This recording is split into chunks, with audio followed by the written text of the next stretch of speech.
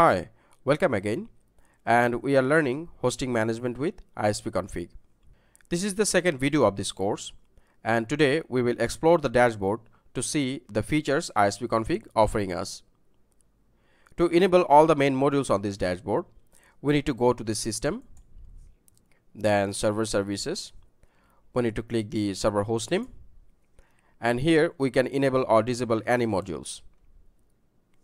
Now click save and let's start from the home.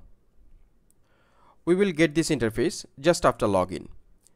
At first, we should see the appeal from the ISPConfig for the donation of this project. As it is an open source software, we all should participate with its development. And as it says, if we can make a donation, as a bonus, we will get a copy of the current ISPConfig manual.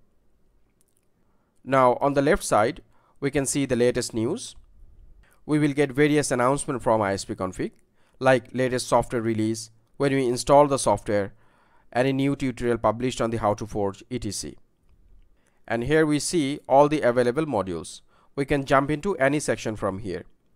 Below is the monitoring section of the resources assigned and consumed by the current logged in user.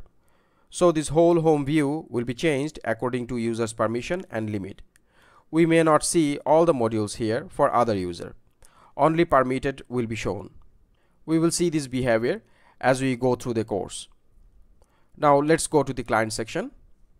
On the client view, we can add and edit any client or reseller from here. On ISPConfig, we have three types of user. Control panel user, client and reseller. Client and resellers are entitled to hosting management.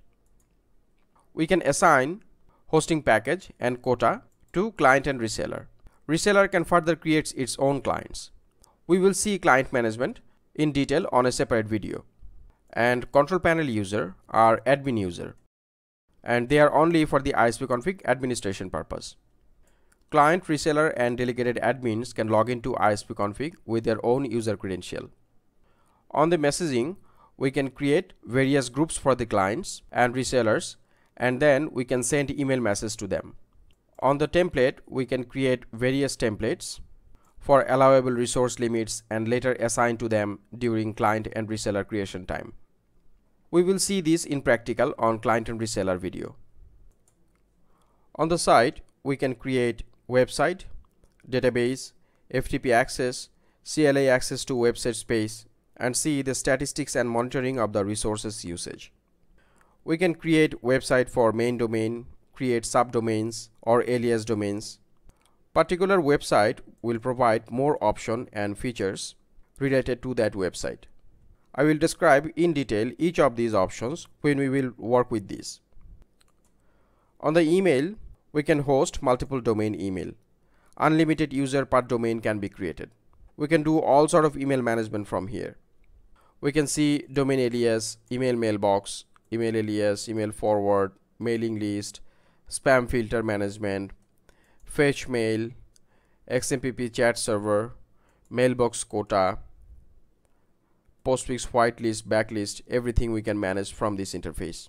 I will explain each of these options and we will work with this in detail on later videos. On the DNS, we can create zone with wizard or manually or we can import zone file to create the zone.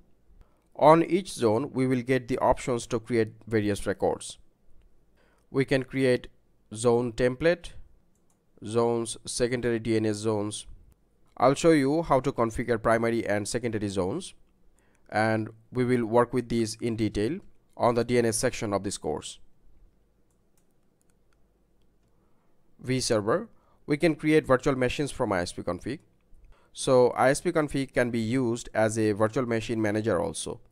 Currently, OpenVZ technology will be used for the virtual machines. I will not go further on this module. My main objective is to elaborate the DNS, email and web hosting only. But if you like, you can go ahead and read the manuals to configure this module properly.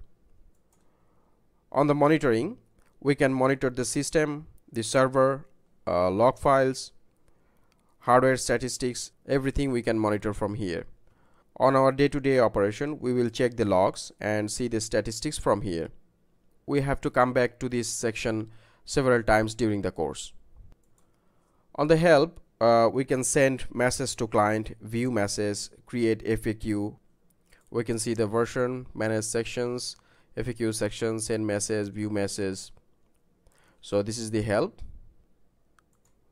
On the tools, we can change user password, import email settings from another ISPConfig, import DNS records from PowerDNS, resync configuration of all the servers. So this is the tools section and on the system we can create system user remote user for API calls we can change server config of each services change IP address additional PHP support interface configurations so this is the main configuration area for the whole system add or remove the language import export do OS update ISPConfig update upgrade we can do the whole system maintenance from this location. So these are the overall features ISPConfig provides and on each section we will see and use related features to get more knowledge on the topics. So this is it for now. I will describe each section in very detail on the upcoming videos. I'll see you on the next video. Bye.